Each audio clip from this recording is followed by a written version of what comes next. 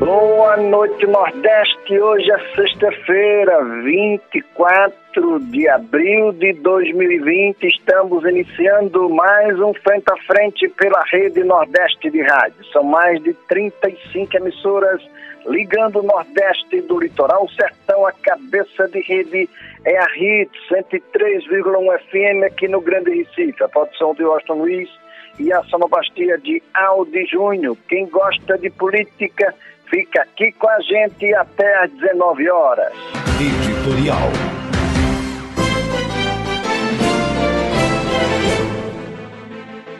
Minha gente, Brasília está pegando fogo. Foi um dia hoje de muito tumulto, de muita agitação. Como o diabo gosta, vamos assim dizer. Começou pela manhã, quando o ex-ministro Sérgio Moura, Moro fez um pronunciamento à nação, entregando o cargo e fazendo duras acusações contra o presidente Bolsonaro. Acusações que, segundo advogados e especialistas em legislação eleitoral e criminal também, apontam que podem levar a um processo de cassação do presidente por crime de responsabilidade. Aliás, o Randolfo, senador, Rodolfo Fernandes, lá do Amapá, líder da oposição no Senado, já anunciou hoje, no meio da tarde, que entraria com um processo de cassação ou de abertura de impeachment do presidente Bolsonaro, baseado nas acusações feitas na fala do ministro, ex-ministro agora, Sérgio Moro. Como juiz, eu entendo que Sérgio Moro mostrou ali o caminho das pedras tipificando um por um os crimes atribuídos ao presidente, principalmente quando ele diz que o presidente é, está mudando o comando da Polícia Federal para entregar a políticos e, com isso, ter mais facilidade para acompanhar os processos que correm no Supremo Tribunal Federal contra aliados e principalmente contra a sua família. Agora há pouco acabou um outro pronunciamento, o pronunciamento do presidente Jair Bolsonaro.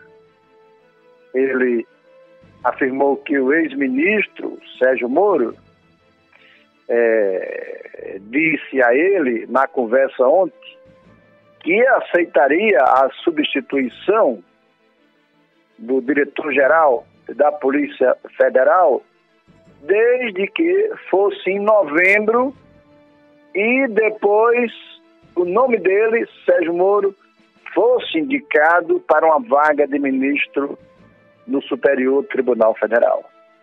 Isso é uma acusação gravíssima, porque isso lá atrás já foi noticiado que o, Bolso, o, o Sérgio Moro teria aceito ser ministro de Bolsonaro por uma postura de barganha para ganhar mais na frente a indicação de ministro do Supremo Tribunal Federal.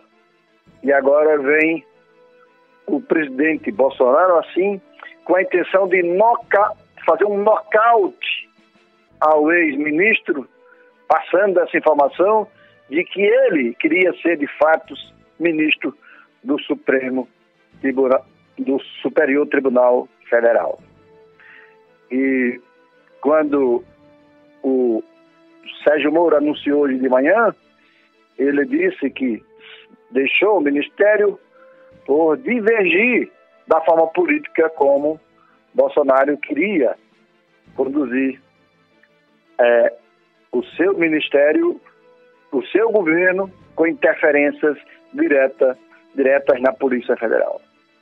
a fala do presidente Bolsonaro foi acompanhada debaixo de um panelaço em todo o país agora, e ele começou dizendo que mais uma vez é, o Sérgio Moro decepcionava ele, porque ele tinha um ego muito grande, o compromisso dele era com o próprio ego dele, consigo próprio e não com o Brasil. E antes de fazer o pronunciamento, o presidente afirmou numa rede social que iria restabelecer a verdade nessa fala que acabou há pouco. E ele começou assim dizendo: Sabia que não seria fácil. Uma coisa é você admirar uma pessoa, a outra é conviver com ela, trabalhar com ela.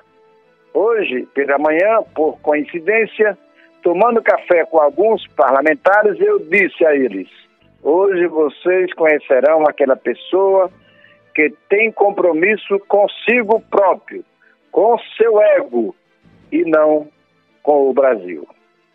Traduzindo, entre os dois pronunciamentos, o do ex-ministro Sérgio Moro o do presidente da República, o país sentiu assim uma espécie de lavagem de roupa suja, na expressão popular, porque o ministro contou bastidores de uma relação até promíscua, é, sugerida, uma relação promíscua da parte do presidente com ele, e agora à noite o presidente rebate dizendo que ele estava querendo de fato ser ministro do Supremo Tribunal Federal.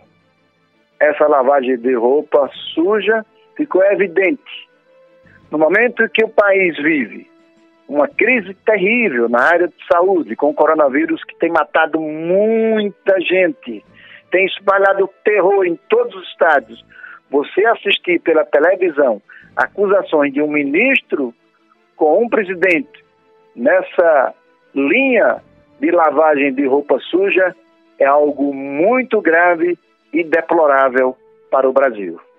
Ele conhece de política ele diz a verdade, abraça as causas do povo. Ele diz a verdade. Magno Martins falou, tá falado. Magno Martins